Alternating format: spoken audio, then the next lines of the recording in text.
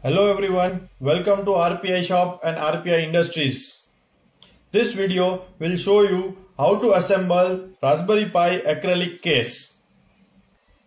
As soon as you receive the particular case, please make sure you have different six sides for your particular case.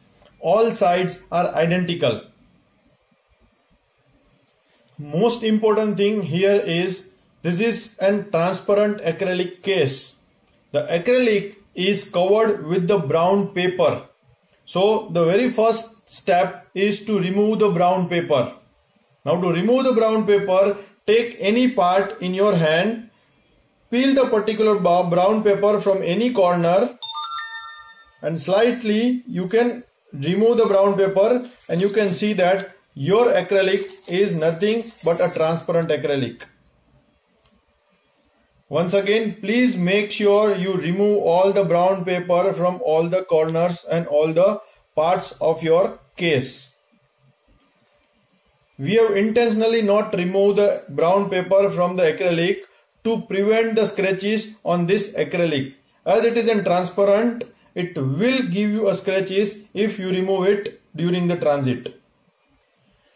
Now remove all the brown paper from all six parts and then put the Raspberry Pi into it. After removing the brown paper, let's identify each part of this particular case. This is the base part of your particular case. This will be the top part. Next, the part where you are supposed to connect a memory card. This is the part you have to connect at the place where you are connecting the memory card in Raspberry Pi. Next one is the particular part where you have the USB ports and LAN port. Another one is the area where you have the GPIO. Next is the power cable uh, HDMI and sound output. While assembling, make sure you have the base part. Then you take the particular uh, HDMI and sound side and the GPIO side.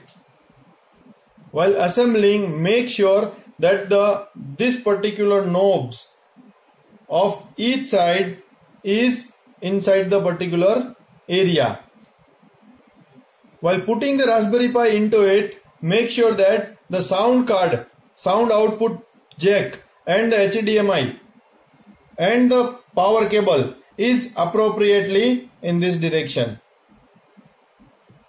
Now take the Raspberry Pi base part and this particular side and connect it into this particular hole. Make sure that all the ports are appropriately placed on the other side go to other side where you are having the GPIO place it.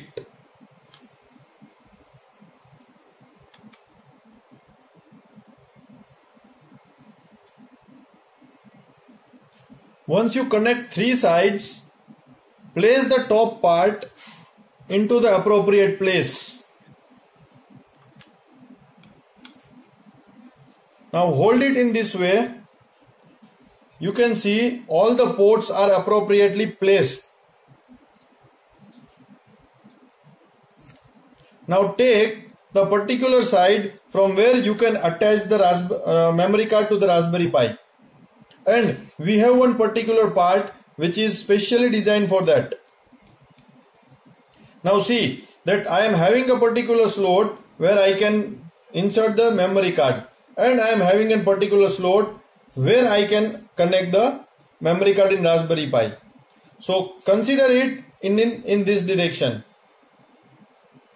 But how to connect it? So connecting, make sure that the memory card slot is at the down place, downside. You, you move it in this direction, hook it in this way and just simply slightly press it. You will heard the sound tick and this is connected.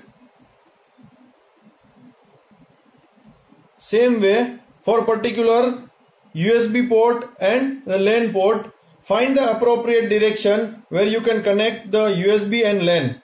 Same way, hold it in this direction, move the particular area into the particular slot, slightly press it and you can hear the sound. Again, it is done. Now you can see the Raspberry Pi 4 case is properly assembled with the Raspberry Pi 4.